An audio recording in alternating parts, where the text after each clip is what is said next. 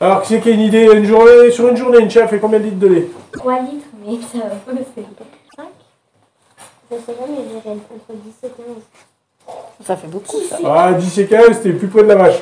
Oui, c'est... Non, 3 litres, t'étais bien. Hein. Nous, euh, c'est ce qu'on arrive, ce qu'on appelle au pic de lactation, en fait. La chèvre, elle va faire son chevron. Euh, pendant un mois, à peu près, son, la quantité de lait va augmenter.